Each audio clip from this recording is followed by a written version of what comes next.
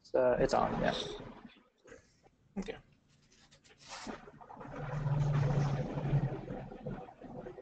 Hi guys, um, I'm just hearing a little background, so maybe what we can do is uh, we can probably just mute some of the initial participants. But if you do want to communicate and, and participate as well, you can certainly raise your hand and we will open up your audio and video as well to, to contact us.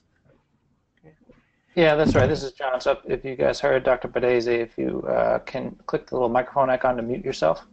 Uh, if you don't do it, I'll do it for you. Um, and use the chat the hand icon if you want to come onto the microphone. So I'll give you about five more seconds and I'll, and I'll mute uh, the, the class. And then we'll, we will begin. Right. Sounds good. Sounds good. Okay, guys, everyone's muted. Good. All right, thank you very much, John, and welcome. Welcome to another installment of our course, One World, One Health, One Medicine. In fact, as part of the month of November, we are in the 11th of our 12th series, which is which is sort of leading to the end of the course. So we're excited, but also sad at the same time. And as part of this month of November, I think it is very interesting for us to take a different perspective on the topic of One World, One Health, One Medicine. We are going to engage a conversation on zoonoses as a blind spot for One Health. And for those of you who know me by now in particular, you can recognize that I have my own biases towards zoonoses. But joining us today to engage in that conversation is Professor Antonia MacDonald, who we're very happy to, to have as part of our year-long seminar series. And we are very much confident that you will bring your own, a different perspective into the conversation, which is needed. Because if we are in fact speaking about one world, one health, one medicine, it means that no one should be left behind. Everyone has a part to play in, in understanding as well as intervening in health as well, individually as well as for a population. So, Professor MacDonald, thank you for joining us today. And thank you, Dr. Bidaisee, for inviting me. I am looking forward to this because it's not a conversation that we normally have. We always feel I am from the School of Arts and Sciences um, in the Department of Humanities and Social Sciences. So my PhD is in literature. I would think that most people would think, now, what does a literature professor have to say about One Health? My area of interest is really, I'm a Caribbeanist. I do a lot of Caribbean studies. I teach Caribbean studies here. So I'm hoping that that is the take. I'm going to bring to it a Caribbean perspective on culture, on education, and just on general practices, ways of being. Good, and that's, that's, that's quite interesting as well. Um, when, when we think about the whole aspect of human, animals, and the environment interacting, I am sure you can immediately highlight some seminal work and pieces out there in terms of how authors over the ages would have served to depict this whole aspect of humans, animals, and environment interacting with one another as well. Well, I would want to use a very wonderful example. I don't know how many of you are aware of the, now he's recently deceased um, Nobel laureate mm-hmm. um, and knighted by St. Lucia government, Sir Derek, Derek Walcott. Yeah. And one of his earliest works was a play called Ti-Jean and His Brothers. And it is really a folk story about three. Uh, usually, the story begins there was a man who had three sons. Mm-hmm. But in this instance, it would be there was a woman who had three sons. But what is interesting about that story is that Ti-Jean is going to be having an encounter with the devil. And the devil has this opposition.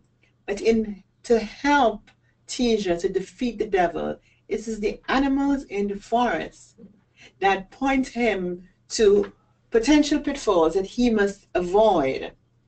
His three, his other two brothers also have that encounter with the devil, and they lose because they do not give any credence to the wisdom of these animals that they meet. So for a long time, we have been, we have grown up with those stories, understanding that the environment is made up, that nature is a force to be dealt with, to be respected, to be understood, and that all of us constitute nature, humans as well as animals, and the fauna also. So it's not just flora. I mean, it's not just fauna, it's also flora. The trees, all these things are important. So that is part of what we, this is the direction that we take it from. that these things interface and have meaning. I know it's a very different take from yours, but at least, you know, it's something that we need to give value to.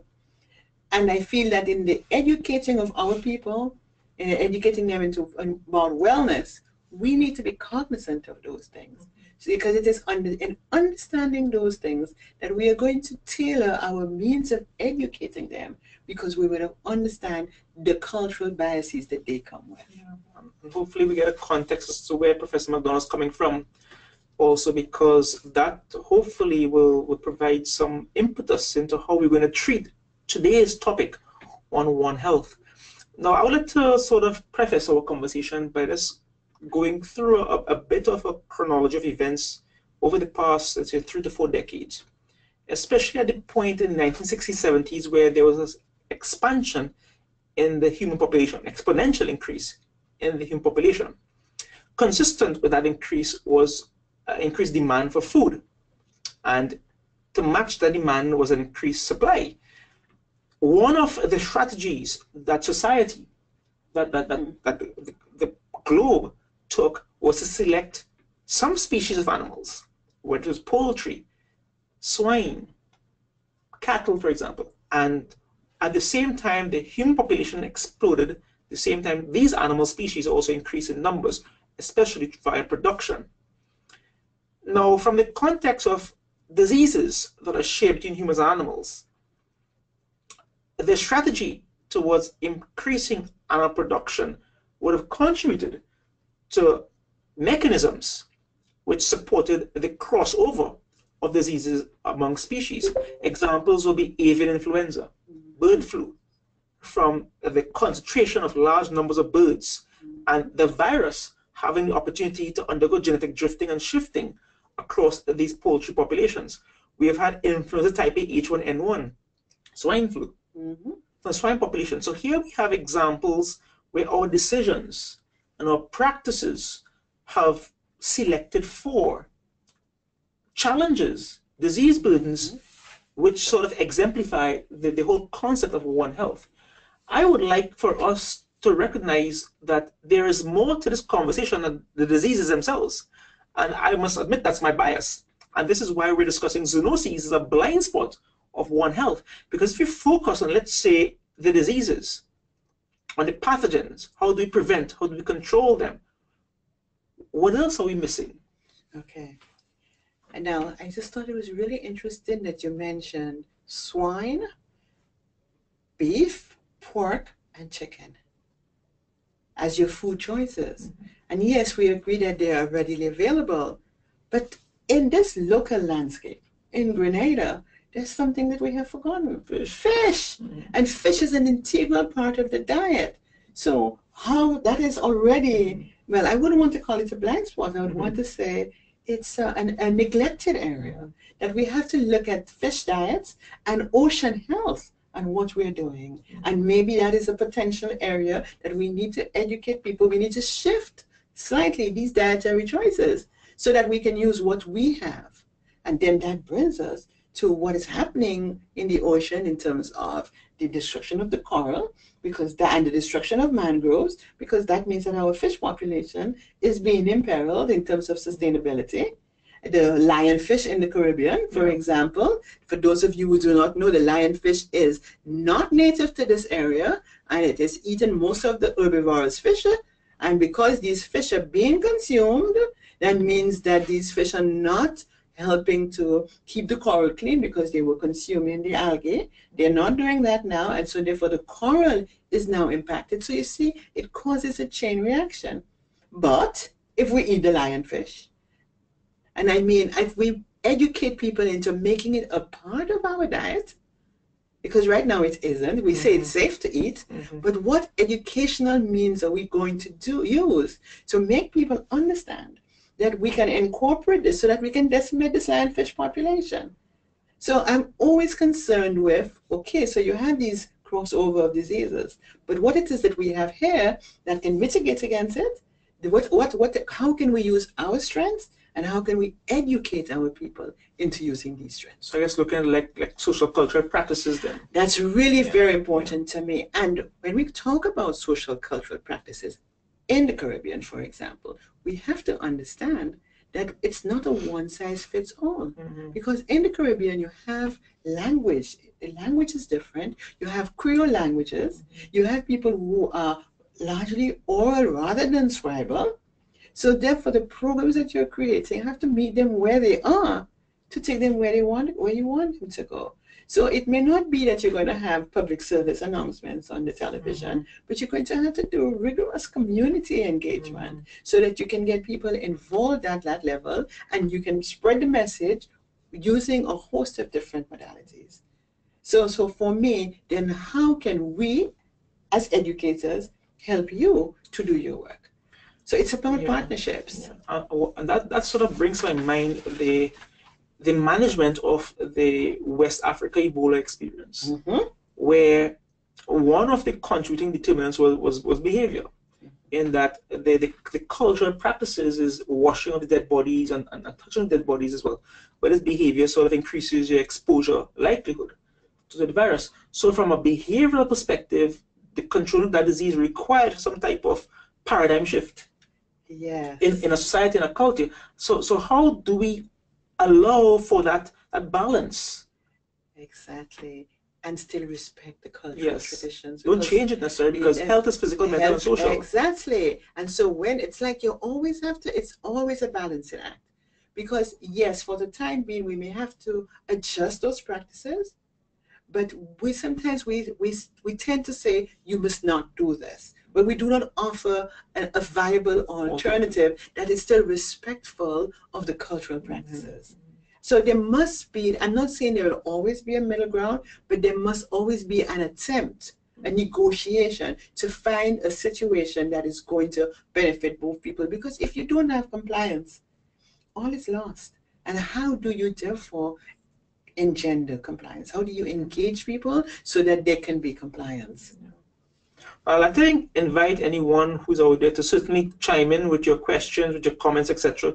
You can feel free to open up your audio, raise your hand, or you can type in your questions, comments on the text box as well, because we want to ensure this is, a, is an interactive type of conversation that we're having.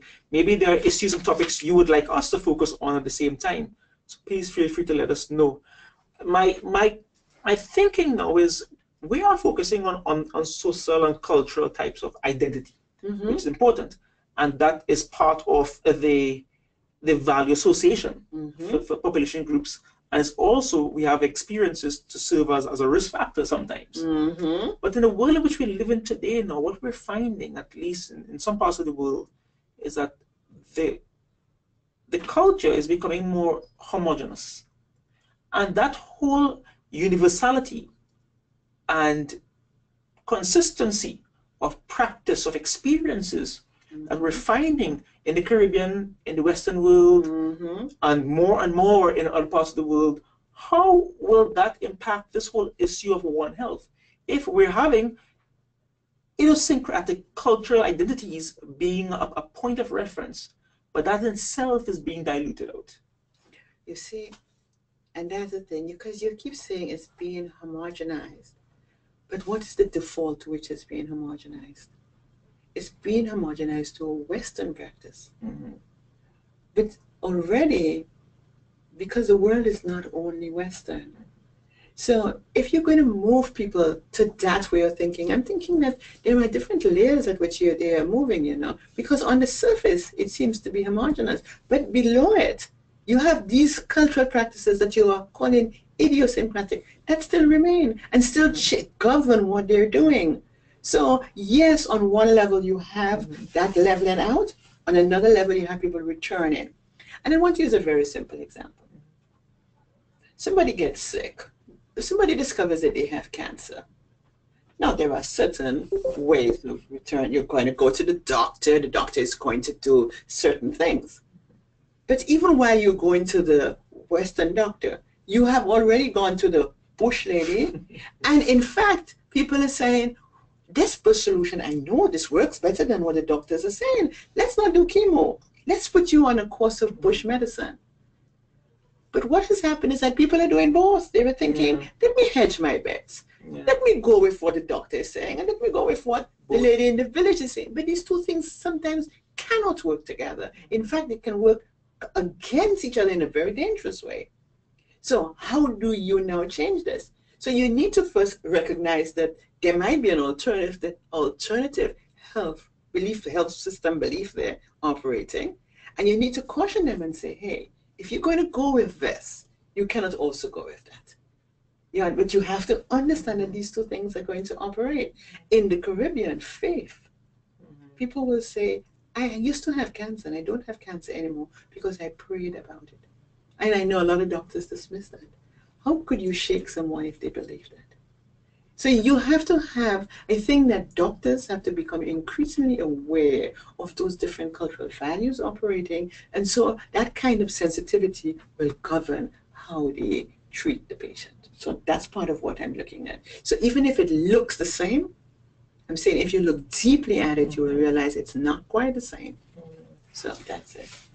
That, that, that that's, that's, that's, quite deep. Huh? it is, it? But, but what that requires, though, is, is a level of cultural competence mm-hmm. to, to, to, match the, the, the cultural identity of respective individuals as well. Yes. And that's that's a challenge. Yes, because you see, we use that word very often, cultural competence. But you have to first have cultural willingness. You know, you have to have a lack of bias. You have to be open to it. Mm-hmm. Because very often you just think, man, this sounds like a lot of mumbo jumbo. this sounds really, you know, and they, we're going to use the word voodoo very loosely and say this sounds like a voodoo business. No, you because you, so you have to respect it, and the cultural competence comes first with respecting the culture that you're dealing with.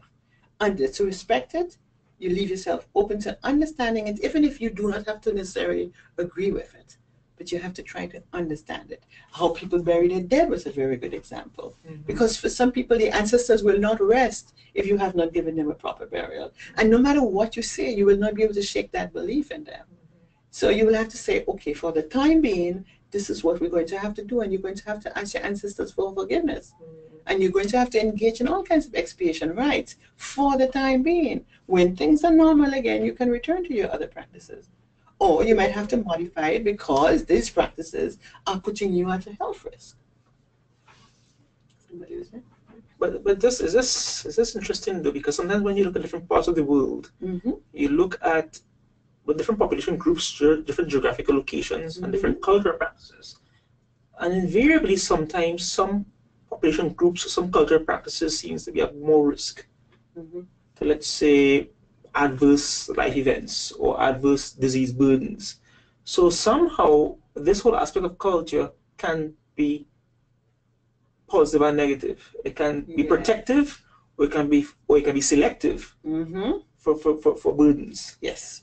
Because it's going to put you at rest. Yeah. So so how can we collectively identify what cultural practices that you want to promote and what cultural practices you want to provide alternatives to, towards towards towards healthier outcomes. That's it, and that's where the research comes in. Because having done the research, once you have, you're going to make your findings available to the people, not from a the great intuit speaks. This is what I'm going to pontificate, but you're going to say this is what the research is suggesting.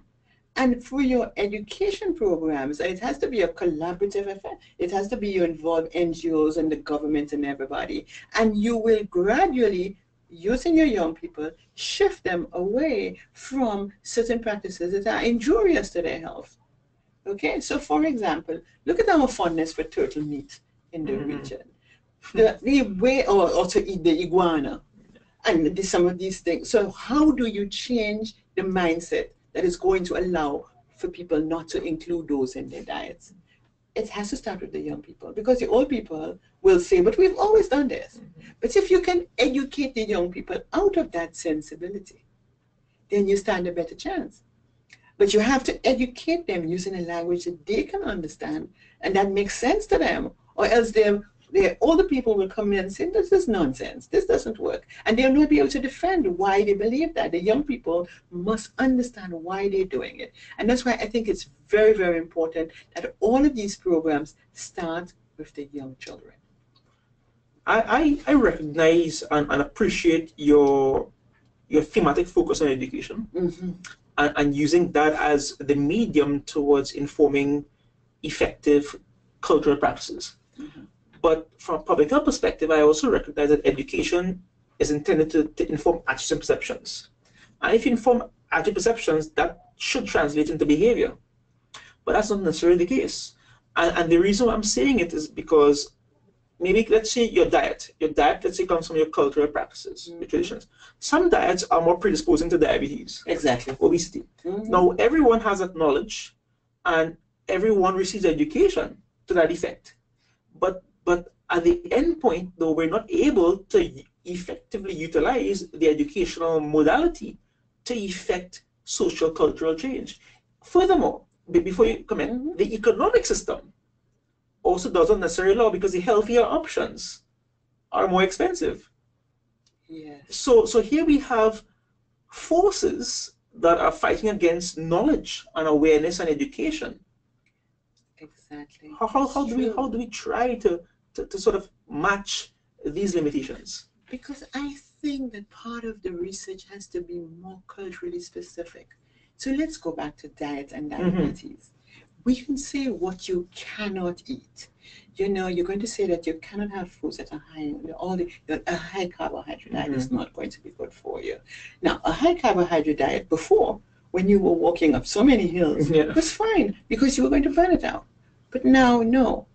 But what I'm saying is that there are certain things in the diet that is available to them that they can eat more of. And so you can say, instead of eating so much of this, why don't you eat so much of that, which is not outside of their, their gardens, mm-hmm. which is right there. But the research has to show them what is available locally on the ground. And I, I don't think that we've done enough of that research. And I'm saying, making that point not only for the Caribbean, but I think in a lot of places the research has to be targeted at looking at what is on what is part of their reality and how you can readjust those things to cater for it.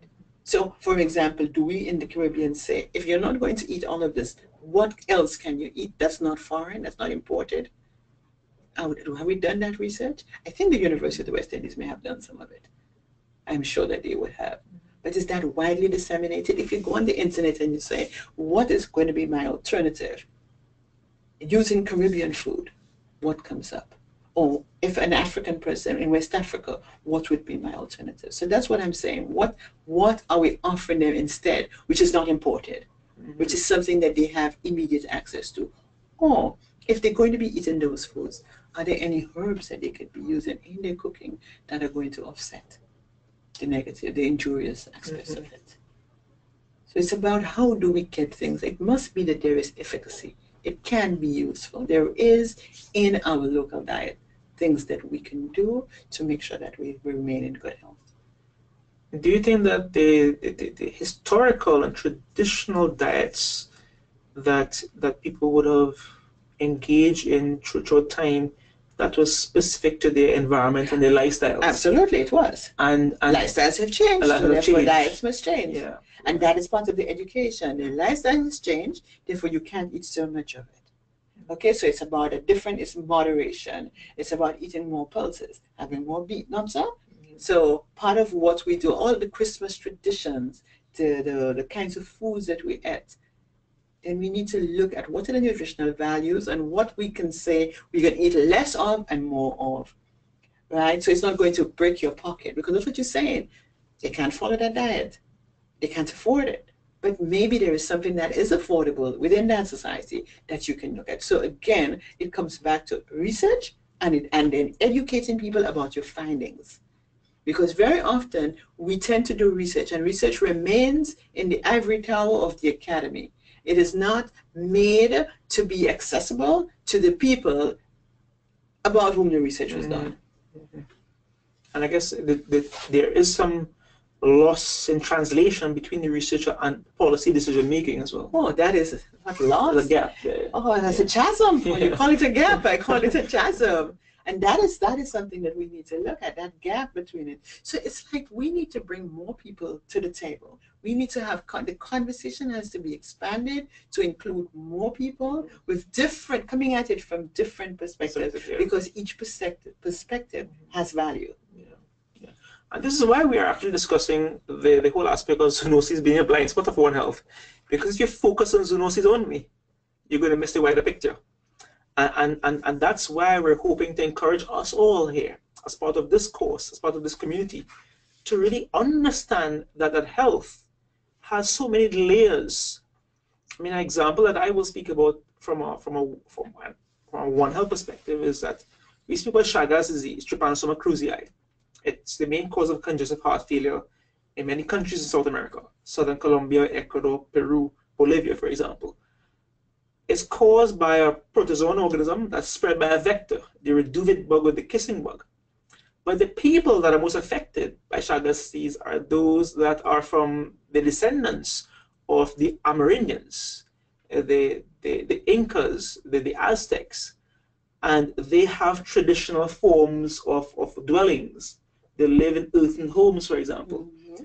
And the, the thinking is their modality of living through earthen homes, for example, that's encouraging and supporting the, the, the vector's presence in the domestic environment, which of course is reducing the, the, the distance between themselves and the vectors and increasing the likelihood of exposure. So, so that's one perspective between looking at, at an infectious disease that has some significance with regards to the environment that seems to be traditional. What are your thoughts on that to open up the, the, the blind spot within okay. this context? Now that's interesting because so you talk about the Aztecs, you talk about the Incas. Was there in those pre-Columbian societies a history of that disease? Not that I can really tell. Good. So that's something we so because they have not changed their their dwellings, eh? Mm-hmm. So then were these vectors always there? And if they were, how come they were not succumbing to it at that time? Was there not some maybe there was something in that environment, pre-Columbian environment, that acted as a mitigating force against it that has changed. So sometimes we keep thinking, okay, it's what they're doing, mm-hmm. but sometimes it's what they're doing now, but it's also impacted and some new variable has been introduced into that environment so that what they were doing and, and being safe doing it, they are no longer safe now because these new variables have been introduced. Maybe it might be as something as simple as the plants and the trees around them that have been cut down mm-hmm. because of excessive logging and maybe mm-hmm. there were variants there. So the point is we need to get the full story or else we'll always have a blind spot mm-hmm. because we're tending to look to have a kind of tunnel vision. We're thinking yeah. this is the answer, but sometimes the answer is in a different place altogether or there are many different kinds of answers, different approaches to it. Because I mean, that's the first thing I thought of. But if it's a disease now, it would have always been a disease. They could haven't changed how they're living, according to what you're telling me. So if it wasn't there then, why is it here now? What have encouraged the What has encouraged it, yeah. or what forces might have been in that environment to discourage the vectors that no longer discourage them? Yeah, that, that's, that's that's very interesting as well. But that does require type of research that you speak about, going back into into understanding the cultural, the, practices, cultural practices as well. Yeah, but but but it's tricky. It's uh, hard. Let me tell you why why it's so hard. When you think about research on health, I mean, whether it's the funding, whether it's the mm-hmm. priority areas, mm-hmm. if you want to align your work, let's say with, with the type of opportunities to be published, to, to, to go to conferences to receive funding, you won't get it for that. You won't get it for that. No, it's not sexy. It's not popular. But, but but then, if we are to examine even the definition of health, physical, mental, and social well-being, is there something that's lacking there?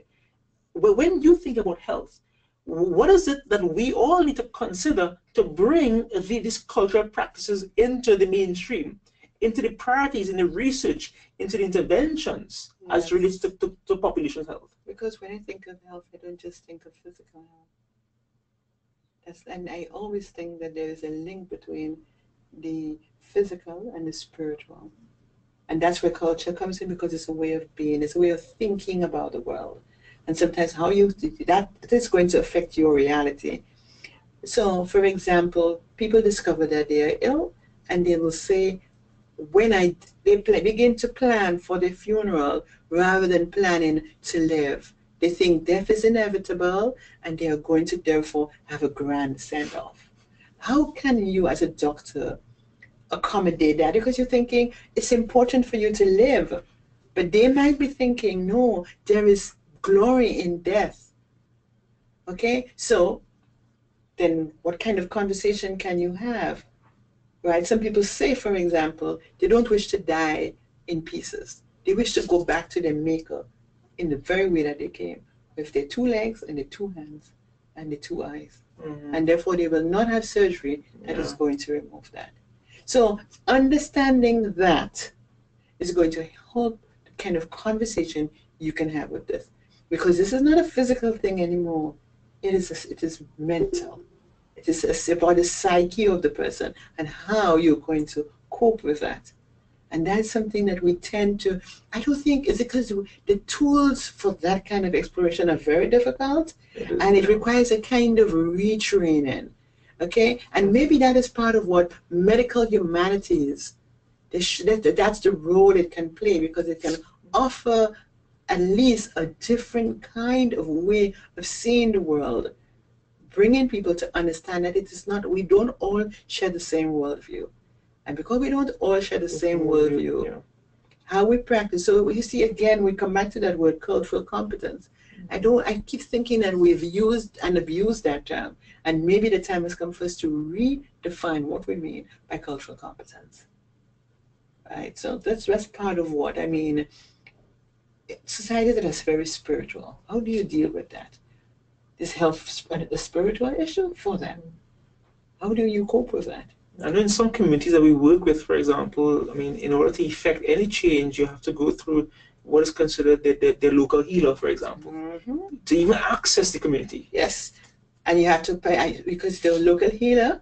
You have to also be respectful of the tradition, Their practices. honor him, Yeah. recognize him as an elder and an ancestor before you can even have an opening to have a conversation.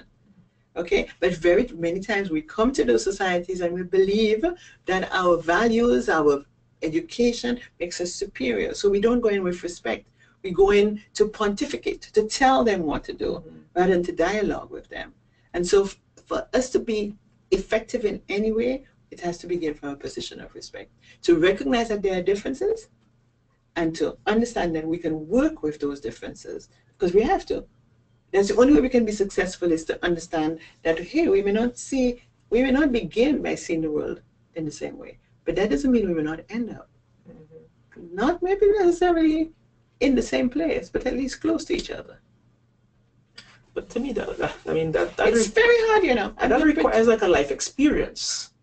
Because what happened is that, um, look, the, the education, let's say, where we receive the, the focus on, on sciences or, or languages or arts or whatever else, you know, Mhm. um, th- that in a sense is quite structured. Yes. It may also be confining to, to, to building the type of worldview that, that you speak about. yes. So, so what you probably need more is, is, is some type of life experience or life history experience to engender that consciousness about the, the, the, the, the various aspects of, of worldviews that exist. Yeah, I think that that is one, but I would want to say that uh, most people who do medicine have done an undergraduate degree. And part of what an undergraduate degree is to gi- gives you is a broad general education that will expose you to psychology, sociology, politics, economics, religion, literature, languages. That's what the, and that's the value of a good undergraduate degree, that it is going to give you that broad base. And so therefore, when you specialize, you will always bring to those these inter, and the interventions that you've gained from those other experiences. So we must never dismiss what happens at the undergraduate level, what happens in schools, and you have that kind of education. It just you tend not to valorize But, it yeah. you tend to put all the emphasis on what happens in med school, forgetting that all of these other things have happened. I mean, a doctor is required to take a patient history. Mm-hmm. When that doctor takes a patient history, what else is there than just pen and paper? Behind the pen and paper, there's a wealth of attitudes and prejudices and Value systems. beliefs and value systems. And maybe these things you need to check them in at the door. You need to always be aware that these are governing what you're saying and, and be self reflexive and apply the necessary correctives, or else you will not get a true history of that patient. So I'm saying it's there, but we always have to safeguard ourselves against it.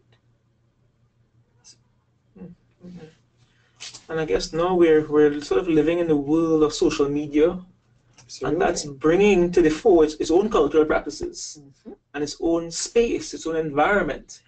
And that's also selecting for different life experiences as well. Yes. What are your comments in terms of this new form of, of communication, this new form of interaction, this new form of, of living? Which seems quite unchecked, in fact. It seems it seems just like a free for all.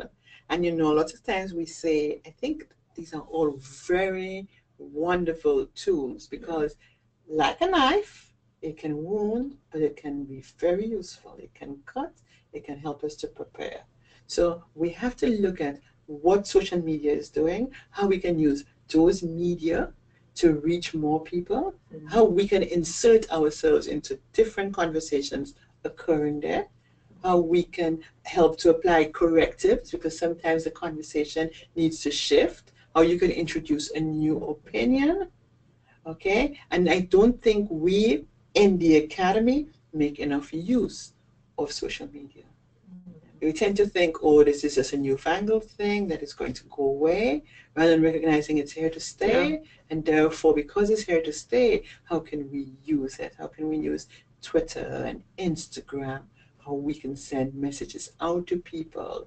How we can use mobile education? Okay, these are things that we can begin to think more about because that is part of the reality. And I think it's going to come. I think change is coming. I am not going to be naive enough to think that change happens overnight. Mm-hmm. Change happens because we are committed to change and because we are persistent in wanting to effect change. That's how it happens. Now, the World Health Organization have three priority areas that they're focusing right now. Mm-hmm. One is the issue of climate change, the other issue of antimicrobial resistance, and it is refugee health. Now, in all of these, what is antimicrobial resistance? It has to do with our, our practices and traditions with regards to animal production, mm-hmm. the use of technology in that aspect of it. The refugee health issues, I mean, that has to do with the value associations, value systems, and, and conflicts with different societies and different cultures. Outsiders coming in. Exactly. As a source of contagion. And the environment is how culturally we have disassociated ourselves with the environment, and that sort of devaluation have selected for certain practices which serve to degrade the environment exactly. at the same time. So in all of these priority areas, as I begin to increase my, my field of vision mm-hmm. from, from the blind spot itself, I am beginning to see and recognize the, the, the necessity for cultural understandings and interventions. Right. And he said, so if we were to, let's say, identify each of these, what are some of the reflections and considerations that we need to be cognizant of from a social cultural context? Okay, let's look at the refugees. Yeah. Okay, let's look at first begin with attitudes to refugees. I mean, their health would be important. We have them in close quarters. Mm-hmm. We do not provide for any social amenities for them. Why do we treat them that way? They have always been refugees. Why do we treat them that way? Because we view them as a source of contagion. Mm-hmm. Okay? And I do not only mean health contagion. Mm-hmm, mm-hmm. They are going to come in and they're going to take from us. They're going to put us at risk. They're going to put our jobs at risk. They're going to be more of them. We're going to have to share housing with them. And so just that attitude mm-hmm. of exclusion is going to force them into their own little world. And it's a world that do not have access to those other things. So the very problem that we're trying to solve will get exacerbated because they live in unhealthy conditions and no matter what you do, there will always be, and I'm going to use the word carefully, the bleeding of those refugees into the fabric of your society. Mm-hmm. Because you cannot keep them, you cannot keep the outsiders out all the time. They are going to be there in your shops. So the point, the, the important thing to do is to recognize that if they are there, and if they, if you have allowed them to come in, then you to create, then you need to create structures that are hospitable to them. Because it is in the creation of those structures that you are going to be impacting on your own well-being because failure to do so is going to put you at risk. Mm-hmm. Because you cannot if you have let them in we've already let in, and I put in scarce quotes, the source of that contagion. So we have to attend to them in a humane way. We need to recognize that, that there are certain social facilities that we need to give them access to. There is an economic need that they're going to have. So if we do these things, it's going to make for a safer world for all of us. Because they're not going to stop one place, they're going to travel. And as they travel, I suppose you're going to think that they're traveling with all of those baggage and disease being one of that baggage. And you know, when I think of disease, I always take it and break it up into dis ease mm-hmm. when you are no longer at ease in that society. And so that's that's part of it. And now climate change is something that we are so terribly concerned about as we should be. Mm-hmm. Global warming is a problem for everybody. The melting of the polar ice caps is going to raise the ocean levels, it's going to put low lying communities at risk. In the Caribbean, we might say, but we did nothing to create this. But we are going to bear the brunt yeah. of it. Absolutely. The oceans are getting warmer. What's going to be the consequence of this to our marine life? Okay? Especially people who have a fish diet. What's going to be the consequence of the oceans getting higher to places that are below sea level, like Guyana? Okay, so it does concern us. What can we do in our practices? I think that everybody, and that's what part of what sustainable development is, how we are going to, in our small way, reduce our ecological footprints, because there are a lot of habits that we have that we, we need to discontinue. So we must never think that climate change has to do with outside the Americas, mm-hmm. the big countries, the developed world. No, we too can play our part. So at least to make our part safe. So even our con- consumption of plastic. Mm-hmm. What have we waste done and waste man? And we talk about it all the time. But something as simple as taking the extra plastic bags to the supermarket so that you don't have to get new bags. But if the supermarkets would incentivize this, on a more sustained level for all the islands, then that would help to reduce the number of the amount of plastic that we're using. But we again, we're going to talk about recycling and plastic and waste management, we have to start in the schools. Because I'm sure that you will notice that plastic bottles are something that is in great supply in those spaces. So you see why I always keep coming back. If we need to, if we want change, we have to be the change that we want to be. We have to be agents of change. We have to be able to go out there and evangelize so that change can come. And I use evangelize in, mm-hmm. very specifically because it is like kind trying to spread a new gospel, a gospel of change it's, it's, it's, it's, sort of really contextualize the fact that, that oh, the challenge we're facing with it requires a whole type of societal involvement yes. and, and engagement at, at, the same time. And that is that is that's exactly why I'm sitting here with you today. Mm-hmm. I think we have to involve the society. We have to at a university level. We must involve all the disciplines mm-hmm. because that will make the conversation richer, yeah. and that will allow for more fruitful partnerships so that whatever the work that you're doing can be more productive yeah. because you have more players supporting you in it. agreed, agreed. On and with that point of in, involvement and engagement as well, do we have anyone online who would like to, to maybe add to the conversation, ask any questions, have any have any queries or concerns as well? Dr. Bidaisee, we have a question that came in from Alfred when we were talking about cultural drivers. Um, and uh, the question was, with respect to HIV and AIDS, what do you think are the cultural drivers of this epidemic? It's on your screen.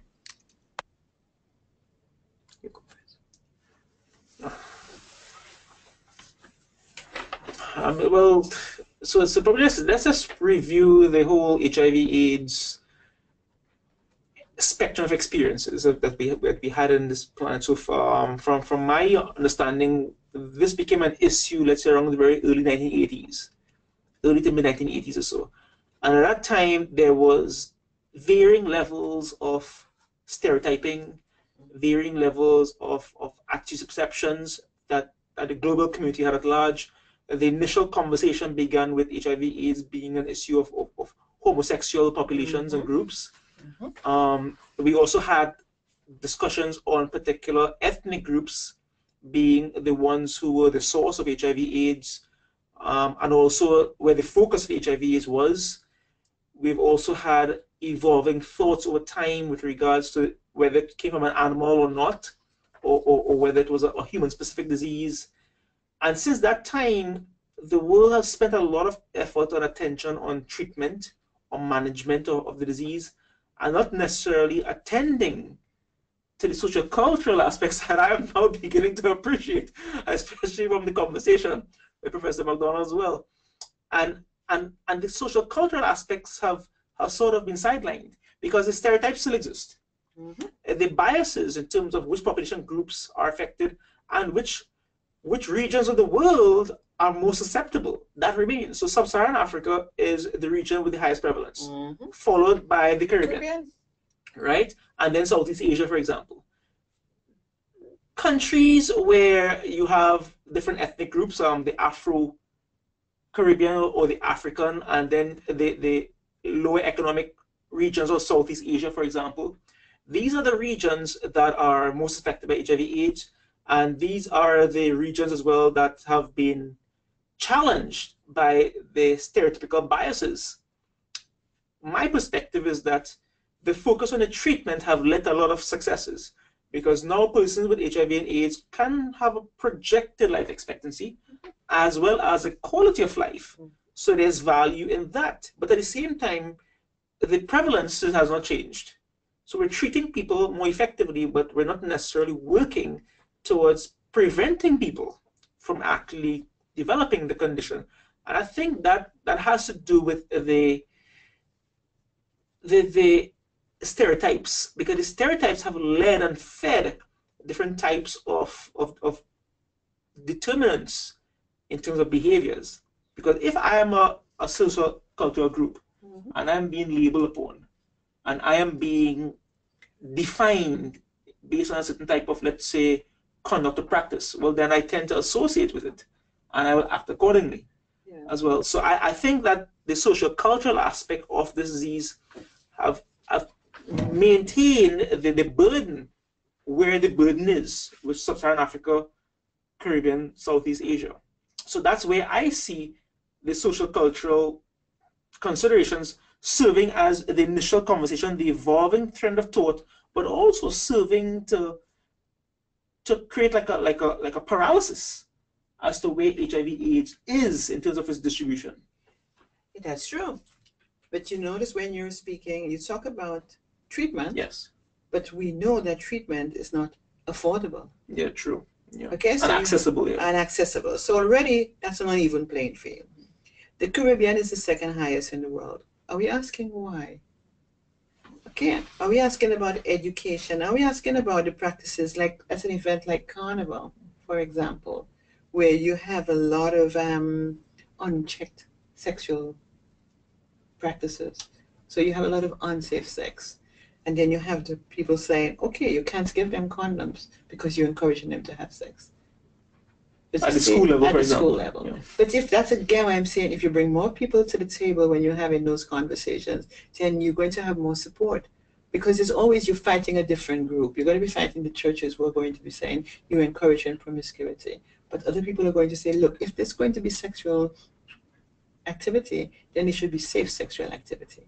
So we're not encouraging, we are helping to protect. What about people who are sex workers in the region? Mm. And we know that there is a lot of sex work. Mm. Okay, so are we going out as a public health issue to do that kind of educating, to do that kind of screening? What are we doing? So a lot of times we turn a blind eye to it because I keep thinking sometimes we don't seem to be interested in prevention. Mm. Right? It's not about getting rid of it. It's about how to can manage it with med- with medication. Or isolated. Or isolated. Within society. But you can't, I keep telling you, these yeah, things can yeah. never be isolated. They will bleed through. Yeah. Right? But these practices are existing and there is a socio-cultural implication to it. The solution, therefore, if there if it has that aspect to it, the solution has to be broad based. Yeah. Okay? Sure. Sure.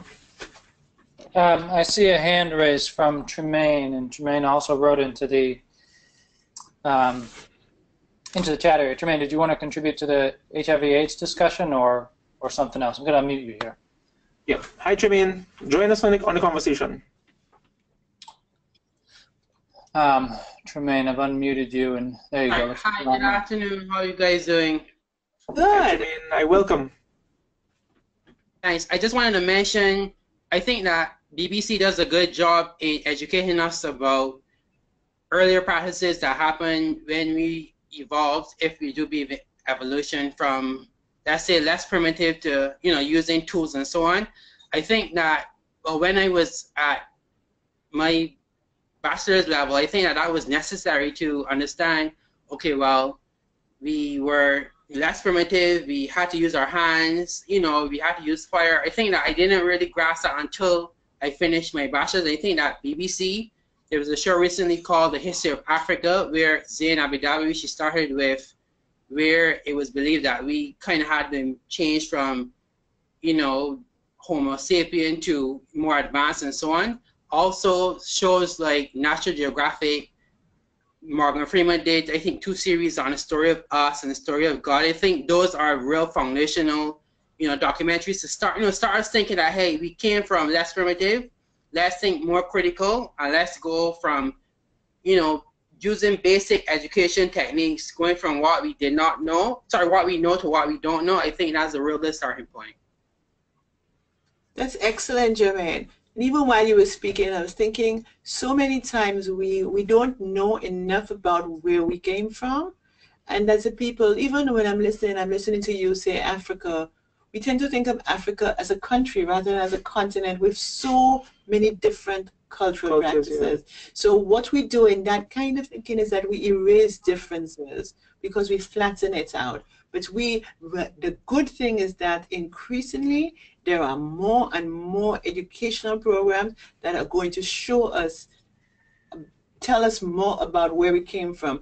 And yes, I agree that some of the things we are, we are doing, we need to discontinue as practices because they were unsafe practices. And I think that all societies are going to, all societies want to continue themselves and therefore they are going to be interested in seeking safety. But you have to first show them that this was unsafe for the following reasons. And I think that a lot of things they discovered, by the way, incidentally were unsafe, you know. Yeah, yes, because that's how societies evolved. They would discover, okay, so you can't eat this. This is not going to be good for you for a particular reason. So, uh, for example, I'm thinking of something like bitter cassava Mm. what we call bitter cassava, that we make farine and cassava, it is a poison. There is a poison in it that has to be extracted. And I keep thinking, every time I teach students about it, I'm thinking that long ago when it was being extracted, there must have been many dead people before Yeah. it was successfully extracted. Mm. And that's part of how societies evolve through experimentation, through people finding that out. So, yeah, as these shows, these programs make more education available to the people, it's going to allow for a modification of behavior.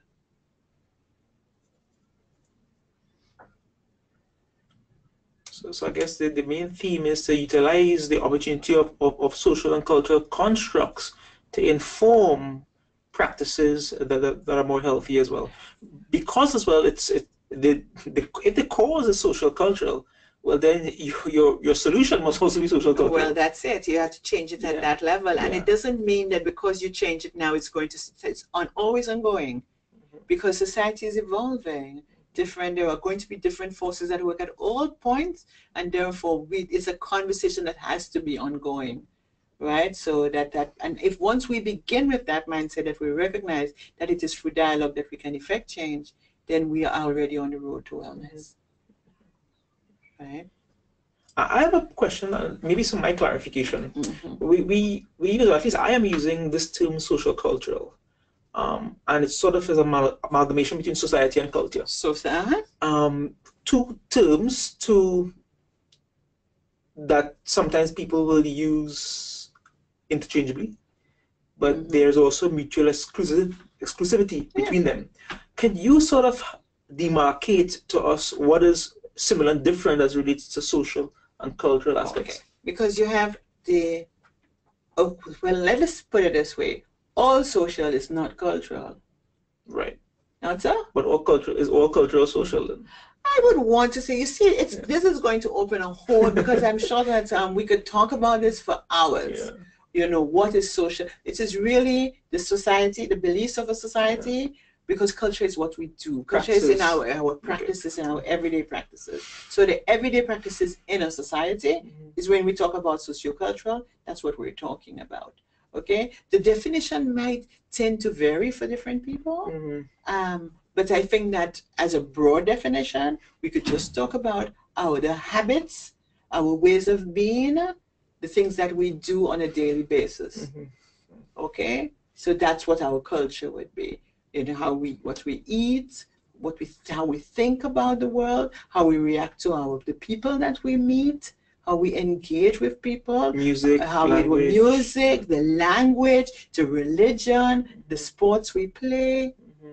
Okay. Okay? So like almost every aspect of life. because that but that's Yeah. what culture is Yeah. culture is what we do Yeah.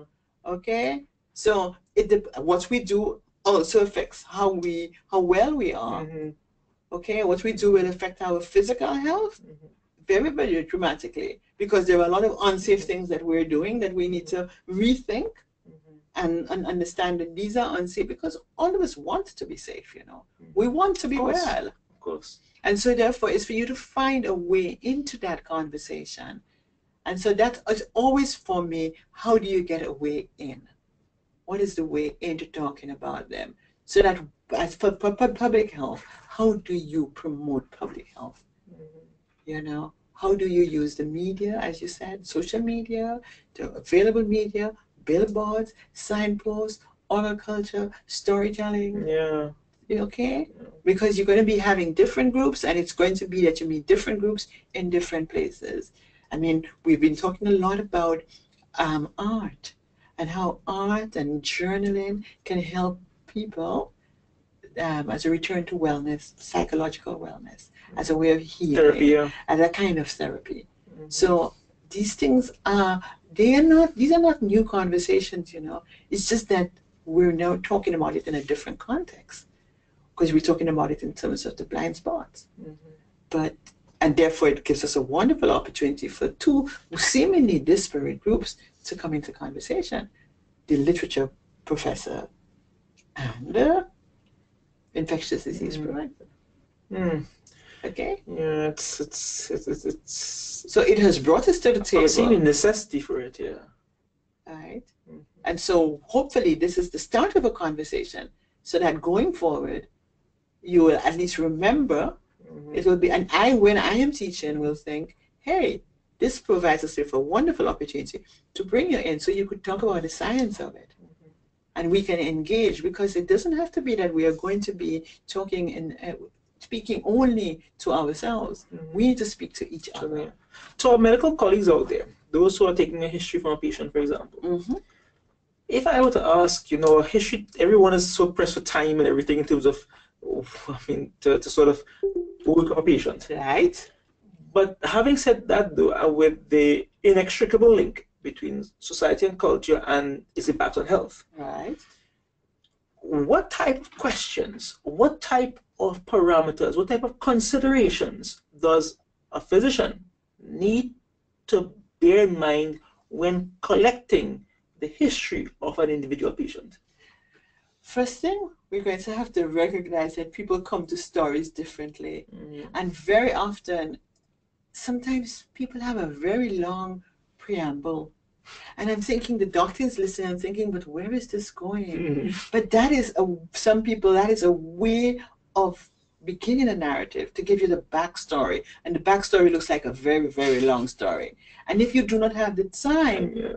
and you hurry them along, then there are things that you're going to miss because you didn't get that whole story. That's one. Secondly, you need to understand also that people, there is not everything, there is a Caribbean phrase, not everything good to talk. There, are, there is a, a divide, a distance between the doctor as the official Mhm. and the patient. And sometimes the patient will not reveal certain things to the doctor because that is not fit for the doctor's Yeah. ears. Yeah. Okay, so there's that that guy, and so for the doctor needs sometimes to listen to what is not being said Mhm. along with what is being said. And th- that's again where the cultural sensitivity comes in. Yeah. Because you have to be able to li- listen to and read silence. Mhm. Because silence is not always nothing being said. Silence is something that is being said that you're not understanding. Okay? So that that's part of what I'm saying. Sometimes you have to let them let them tell, let them speak uninterrupted. That helps sometimes, I think. Yeah, Interesting. It's interesting. I'm not sure how, how much patience we can get through. Oh, no, I know. I'm glad to see you remember. Yeah. You're not going to get a lot of them. I know. Yeah. But those you get, you will have done Yeah, thorough thorough. with. Thorough, yeah. And so I think it is not about quantity. I mean, if you do it once, You that sets you up for, for your overall management of the patient over your course of your career and the patient's life. Yes, because you can So just do it once and one do it well. yeah, well. Yeah. Yes. So it requires that type of investment Mhm. in time and effort at the very beginning as well. I think so. Sometimes it just feels like um, this factory line um, Yeah. medicine. You come in, you go, you get stamped, and you just move along on the conveyor belt. Mhm. But very often, I think it is important that people tell the stories because even the act of telling the story is an act of catharsis. You're Mhm. getting it out of you, Mhm. and that is itself a good thing, Yeah. you know. But Sure. it's for them to listen. Exactly. Okay. And Any other comments or, or questions coming coming from the from the from the group guys? Uh, we don't have anything queue right now. Yeah, it's it's, it's I, I actually um it's an eye opener for me personally, and I hope it's the same for, for for all of us, because when we think about about health, I mean we all have our our locate localities and where we position ourselves in, but it's if you only look at what is, you never be able to see what could be, and that's why it's important to look from the lens of other people and perspective as well. So then you can really appreciate the bigger picture as well at the same time. And that is the, the initiative and the intention of having a seminar like this, looking at the blind spot, but looking beyond the blind spot, and certainly engage in the conversation of, of social and cultural aspects of health as well. And I, I, I think it, it, it hopefully it augurs for for a continuation in effort, not just from a conversation perspective, but from even yeah, whether it's a research, whether it's education, Mhm. whether it's a treatment, side of it. Exactly. because we can't we can't necessarily engage social and cultural aspects just through a conversation only, No. because then it will not be able to attain its No, full it will potential. just become self-indulgent. Yeah. We just talk to each Yeah. other. But Yeah. It has to be more than that. And that's why I really appreciate this opportunity because at least it brings us to the same table where we can talk to each other and it can we can begin to partner with each other. sure, So I sure. really appreciate it. Yeah, although we appreciate the opportunity as well to, to share, to learn from each other as well at the same time. I know that um th- this session is part of an ongoing series that we've had, and we've had a variety of topics. We've we have covered infectious diseases, Yes. we have, but we have also covered mental health issues, environmental health issues, and certainly continue to engage in the social and the cultural aspects of health as well. So thank you for sharing in today's session with us. I thoroughly enjoyed it. I hope that the listeners also enjoyed it. Yeah, and thank you guys very much. If there if there are any other questions, or if anyone have any other questions or comments, please feel free to let us know. Otherwise, it's well, it's goodbye for now from St. George's University or Blue campus in Grenada here, and stay tuned for our final seminar in the month of December as we complete the seminar series, but also complete the year, which is 2017. This year is sort of how has the year gone by for you? Was it fast? Was it slow? Oh, it went by and went so it went by so quickly. I am still dizzy with that speed. yeah, exactly. So, but I trust that, that you guys um, continue to enjoy your various pursuits, and we'll see you guys in December for another installment of our course One World, One Health, One Medicine. Well, on behalf of Professor MacDonald and myself, Satesh Bidaisee, as well as John Swope, our support online, thank you very much and goodbye for now. Thank you, guys. Got a few thank yous coming in from the students. See you next month. Yep, thanks, guys. Thank you, John. Thanks. Bye bye.